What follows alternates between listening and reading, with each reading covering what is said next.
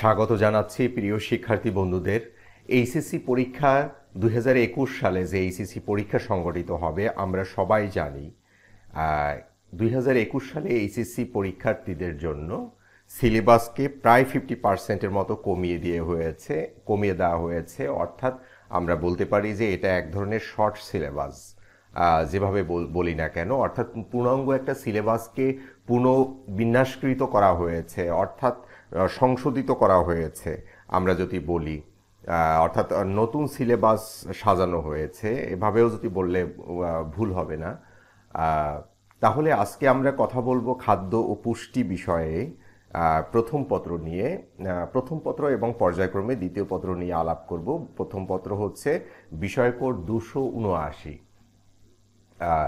এবং শিক্ষার্থী বন্ধুদের তোমরা বোধহয় সবাই জানো যে কোভিড উনিশ পরিস্থিতির কারণে প্রায় এক বছর ধরে সরাসরি তোমাদের সম্মুখে যে সরাসরি তোমাদের সঙ্গে ক্লাস পরিচালনা করা আমাদের পক্ষে সম্ভব হয়নি। যদিও আমরা অনলাইনে নিয়মিত ক্লাস পরিচালনা করে আসছি, সেটা ফেসবুক প্ল্যাটফর্ম হোক ইউটিউব প্ল্যাটফর্ম হোক এবং অনলাইনের মাধ্যমে তোমাদের সঙ্গে যোগাযোগ যোগাযোগ করা সম্ভবপর হয়েছে। তো যাই হোক, আজকে তাহলে আমরা দেখব যে খাদ্য পুষ্টি বিষয়ে কোন কোন অধ্যায়গুলো বা কোন কোন শিখন ফলগুলো যুক্ত হয়েছে এবং ওই শিখন ফলগুলো কমপ্লিট করতে কতগুলো ক্লাসের প্রয়োজন হবে অর্থাৎ অনুশীলনী অনুশীলন করতে সেই বিষয়গুলো আমরা আজকে দেখব। তো আলোচনার পূর্বে আমরা ঢাকা শিক্ষা বোর্ড কর্তৃক সেই মেসেজটি একটু সবাই আমরা দেখি। আমরা দেখতে পাচ্ছি যে ফেব্রুয়ারি চার তারিখে এই মেসেজটি দেয়া হয়েছে। এখানে বলা হচ্ছে যে এইচএসসি পরীক্ষা দুই হাজার একুশের জন্য পুনঃবিন্যাসকৃত পাঠ্যসূচি এবং শেষের লেখাটা যদি আমরা দেখি যে জাতীয় শিক্ষাক্রম ও পাঠ্যপুস্তক বোর্ড বাংলাদেশ কর্তৃক প্রেরিত এইচএসসি পরীক্ষা দুই হাজার একুশের জন্য পুনঃবিন্যাসকৃত পাঠ্যসূচি। আমরা একটু সম্পূর্ণ মেসেজটি দেখি। তাহলে আমরা এখন আলোচনায় চলে যাই। আজকে আলোচনা করব বিষয় খাদ্য ও পুষ্টি পদ, প্রথম পত্র, বিষয় কোড দুশো উনআশি। আমরা এখানে অনেকগুলো কলাম দেখতে পাচ্ছি। এখানে তার আগে আমরা পূর্ণমান দেখতে পাচ্ছি, অর্থাৎ আমাদের টোটাল একশো মার্কের পরীক্ষা হতো আগে।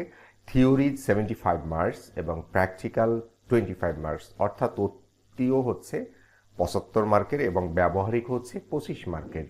এবং এখানে অনেকগুলো কলাম আমরা দেখতে পাচ্ছি, অধ্যায় ও অধ্যায়ের শিরোনাম, প্রথম কলামে। তারপরে হচ্ছে শিখন ফল নিয়ে আর একটা কলাম।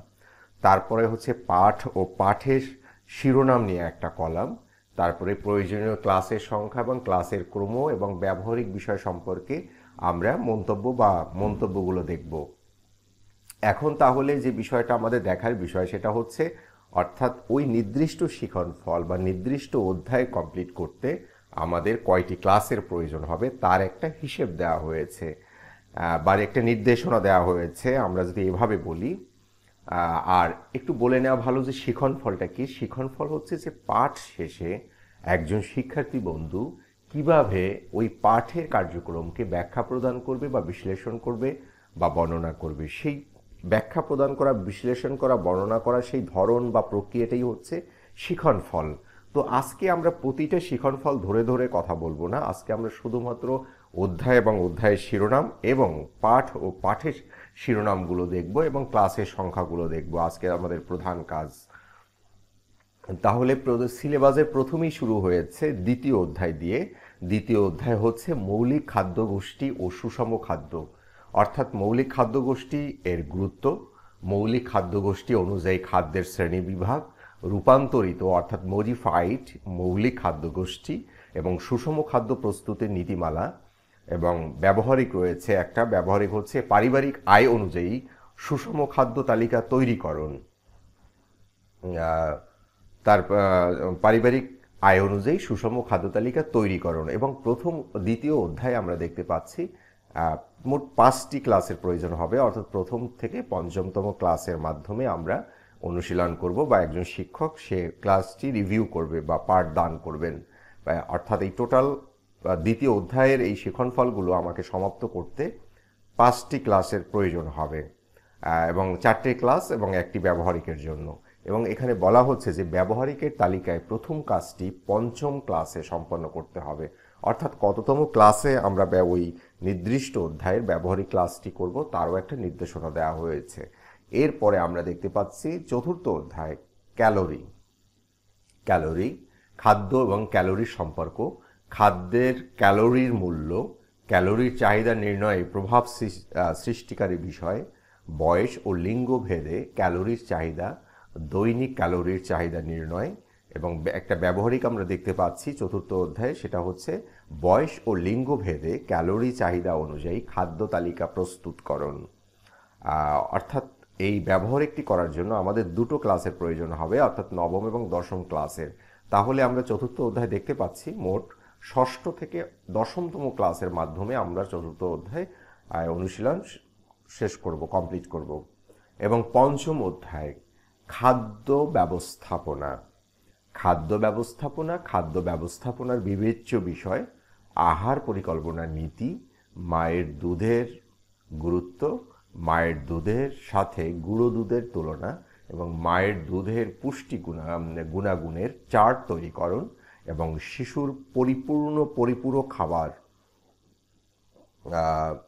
তাহলে আমরা শিশুর পরিপূরক খাবার আরেকটা রয়েছেন ব্যবহারিক রয়েছেন এই অধ্যায়, সেটা হচ্ছে শিশুর পরিপূরক খাবার তৈরি চার্ট তৈরিকরণ। তাহলে আমরা চতুর্থ পঞ্চম অধ্যায় দেখতে পাচ্ছি, এগারোতম ক্লাস থেকে এবং ষোলোতম ক্লাসের মাধ্যমে পঞ্চম অধ্যায় আমরা সমাপ্ত করব এবং ব্যবহারিক ক্লাসটির জন্য দুটো ক্লাসের প্রয়োজন হবে, পনেরোতম এবং ষোলোতম ক্লাস ষষ্ঠ অধ্যায়, খাদ্য পরিকল্পনা বা মেনু খাদ্য পরিকল্পনার নীতি, বয়স ও লিঙ্গ ভেদে মেনু পরিকল্পনার বিভিন্নতা, শারীরিক অবস্থা অনুযায়ী মেনু তৈরির বিবেচ্য বিষয়, চক্র মেনু আশ্রয় কেন্দ্র ও প্রতিষ্ঠান ভিত্তিক মেনু তৈরির পদ্ধতি, ছাত্রাবাস, পুনর্বাসন কেন্দ্র, হাসপাতাল।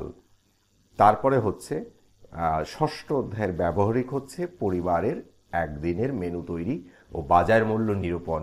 তাহলে আমরা ষষ্ঠ অধ্যায় দেখতে পাচ্ছি, সতেরো থেকে একুশতম ক্লাসের মাধ্যমে সমাপ্ত হবে আমার অর্থাৎ ষষ্ঠ অধ্যায়ের যে ব্যবহারিক ক্লাসটি রয়েছে, এটা হচ্ছে চতুর্থ ক্লা, ব্যবহারিক ক্লাস। তাহলে এটি একুশতম ক্লাসের মাধ্যমে সমাপ্ত করতে হবে।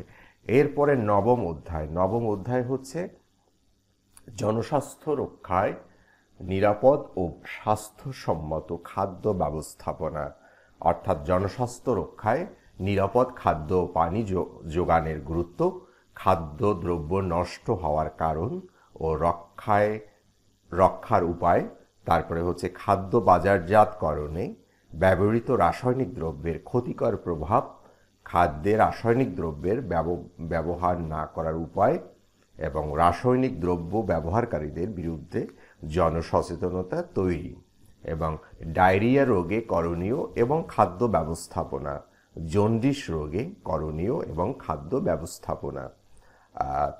তাহলে এই অধ্যায়ে আমরা একটা ব্যবহারিক দেখতে পাচ্ছি। ব্যবহারিক হচ্ছে ডায়রিয়া ও জন্ডিস রোগীদের জন্য খাদ্য তালিকার চার্ট তৈরিকরণ তাহলে আমরা নবম অধ্যায় দেখতে পাচ্ছি বাইশতম ক্লাস থেকে উনত্রিশতম ক্লাসের মাধ্যমে সমাপ্ত হবে এবং ব্যবহারিকটি হচ্ছে পঞ্চমতম ব্যবহারিক এই পত্রের।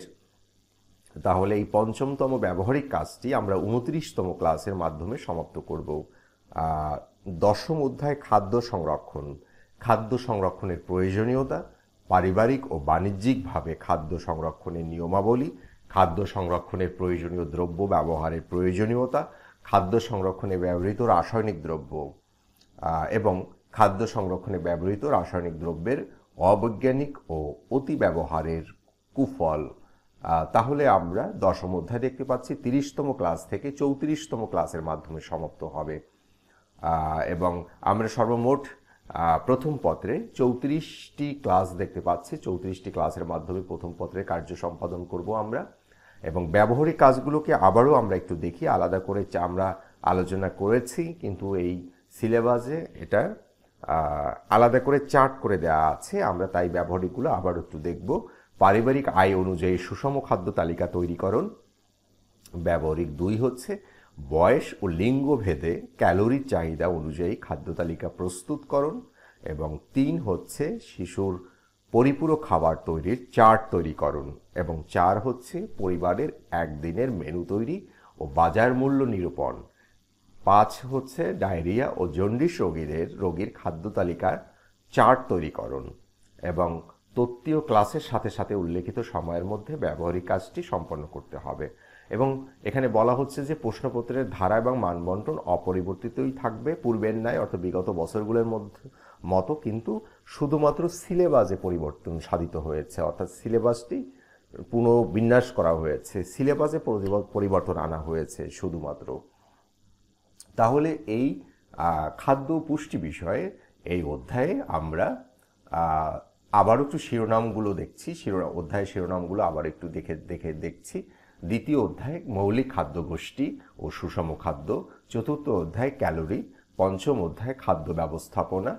এবং ষষ্ঠ অধ্যায়, খাদ্য পরিকল্পনা বা মেনু। এবং নবম অধ্যায়, স্বাস্থ্য রক্ষায় নিরাপদ ও স্বাস্থ্যসম্মত খাদ্য ব্যবস্থাপনা। দশম অধ্যায় হচ্ছে খাদ্য সংরক্ষণ। দশম অধ্যায় হচ্ছে খাদ্য সংরক্ষণ।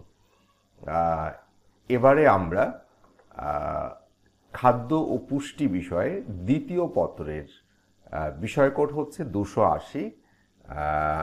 এই দ্বিতীয় পত্রে দেখব আমরা কোন কোন শিখন ফল বা কোন কোন অধ্যায়গুলো যুক্ত হয়েছে আমাদের এই নতুন সিলেবাসে।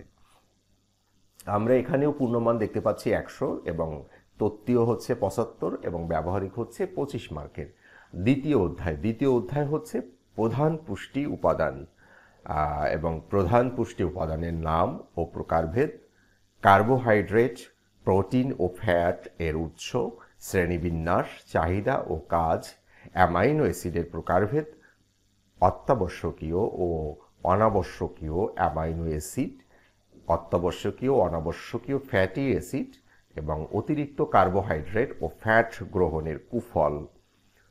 তাহলে আমরা দ্বিতীয় অধ্যায় দেখতে পাচ্ছি। প্রথম থেকে পঞ্চমতম ক্লাসের মাধ্যমে দ্বিতীয় অধ্যায় সমাপ্ত হবে। তৃতীয় অধ্যায়, অর্থাৎ অনুপুষ্টি উপাদান। অনুপুষ্টি উপাদান। অনুপুষ্টির উপাদানের নাম ও প্রকারভেদ, ভিটামিনের উৎস, প্রকারভেদ ও কাজ, ভিটামিনের দৈনিক চাহিদা, ভিটামিনের অভাবজনিত রোগ ও লক্ষণ, খনিজ পদার্থের উৎস, প্রকারভেদ, অভাবজনিত রোগ ও লক্ষণ এবং কাজ। লেশ মৌল এর উৎস লেশ মৌলের দৈনিক চাহিদা ও কাজ এবং ব্যবহারিক হচ্ছে আয়োডিনের গুণগত মান নির্ণয়, খাবার স্যালাইন তৈরিকরণ। তাহলে আমরা তৃতীয় অধ্যায় দেখতে পাচ্ছি, ষষ্ঠ এবং ষোলোতম ক্লাসের মাধ্যমে সমাপ্ত হবে এবং এখানে ব্যবহারিকের তালিকায় প্রথম এবং দ্বিতীয় কাজটি আমরা ষোলোতম ক্লাসের সম্পন্ন করতে হবে। অর্থাৎ এখানে আয়োডিনের গুণাগুণের মান নির্ণয়ও ষোলোতম ক্লাসে সমাপ্ত করতে হবে এবং খাবার স্যালাইন তৈরিকরণ এটাও আমাদের ষোলোতম ক্লাসে সম্পন্ন করতে হবে।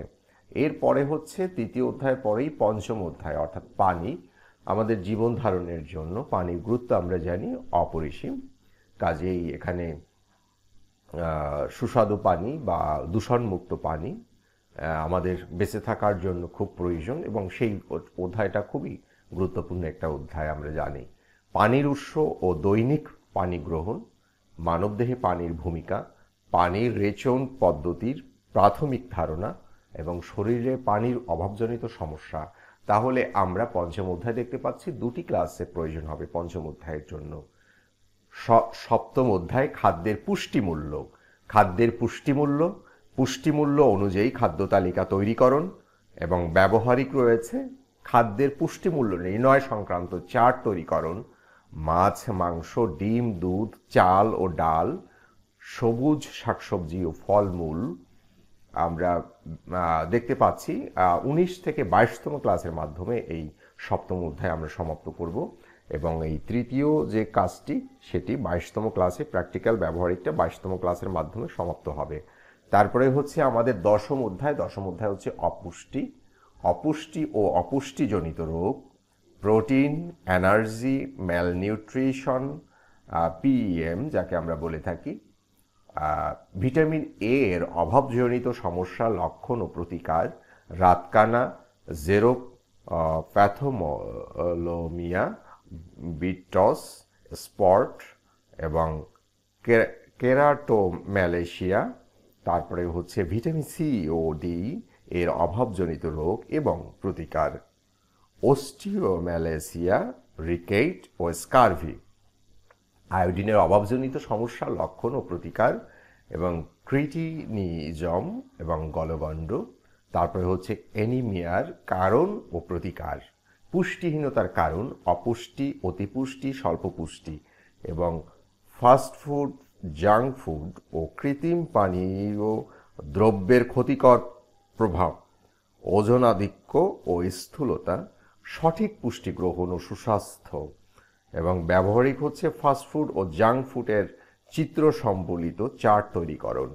তাহলে আমরা দশম অধ্যায় দেখতে পাচ্ছি, তেইশতম থেকে বত্রিশতম ক্লাসের মাধ্যমে সমাপ্ত হবে এবং চতুর্থ কাজটি অর্থাৎ ব্যবহারিক যে কাজটি রয়েছেন সেটি আমরা বত্রিশতম ক্লাসে সমাপ্ত করব এবং একাদশ অধ্যায় পুষ্টিহীনতায় করণীয়। বাংলাদেশে পুষ্টিহীনতায় প্রেক্ষাপট, পুষ্টিহীনতার প্রেক্ষাপট ও বর্তমান অবস্থা মা ও শিশুর পুষ্টি সমস্যা, বাংলাদেশে মাতৃ মৃত্যু ও শিশু মৃত্যুর কারণ, বাংলাদেশের প্রধান প্রধান পুষ্টি সমস্যার সমাধানের উপায়, পুষ্টি জরিপের বিভিন্ন পদ্ধতি, পারিবারিক পর্যায়ে পুষ্টি জরিপ এবং তারপরে হচ্ছে একটি ব্যবহারিক রয়েছে, একাদশ অধ্যায়, ব্যবহারিকটি হচ্ছে বাংলাদেশের প্রধান প্রধান পুষ্টি সমস্যার চার্ট তৈরিকরণ। তাহলে একাদশ অধ্যায় হচ্ছে তেত্রিশ থেকে ছত্রিশতম ক্লাসের মাধ্যমে একাদশ অধ্যায় আমরা সমাপ্ত করব। ব্যবহারিক তালিকায় পঞ্চম কাজটি ছত্রিশতম ক্লাসে সম্পন্ন করতে হবে। এরপরে হচ্ছে আমরা তাহলে আমরা দেখতে পাচ্ছি মোট দ্বিতীয় পত্রের ছত্রিশটি ক্লাসের মাধ্যমে আমরা দ্বিতীয় পত্র সমাপ্ত করতে পারব এবং ব্যবহারিকগুলো আবারও আমরা একটু দেখে নেই। আয়োডিনের গুণগত মান নির্ণয়, খাবার স্যালাইন তৈরিকরণ, খাদ্যের পুষ্টি মূল্য নির্ণয় সংক্রান্ত চার্ট তৈরিকরণ যেমন মাছ মাংস ডিম দুধ চাল ও ডাল সবুজ শাকসবজি ও ফলমূল ফাস্টফুড ও জাঙ্ক ফুড এর চিত্র সম্বলিত চার্ট তৈরিকরণ এবং বাংলাদেশে প্রধান প্রধান পুষ্টি সমস্যার চার্ট তৈরিকরণ আহ, এবং এখানে আমরা দেখতে পাচ্ছি তত্ত্বীয় ক্লাসের সাথে সাথে উল্লেখিত সময়ের মধ্যে ব্যবহারিক কাজটিও সম্পন্ন করতে হবে।